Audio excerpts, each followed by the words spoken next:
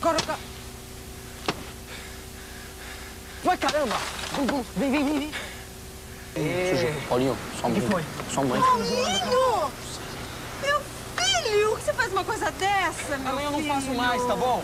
Desculpa. Eu já falei, eu ah, já falei tantas vezes, meu filho. Não assim. é pra sair de casa ah. sem o agasalho.